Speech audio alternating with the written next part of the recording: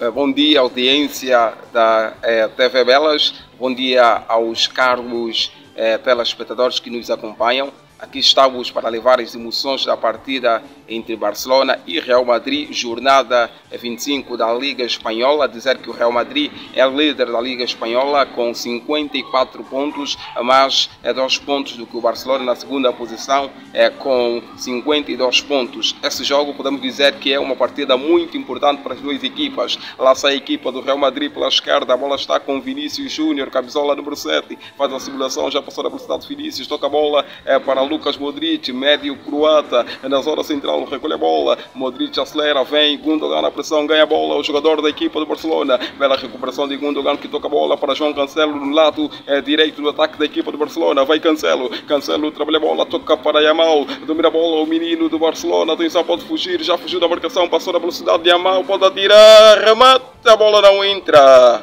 TV Belas, juntos criamos a nossa história.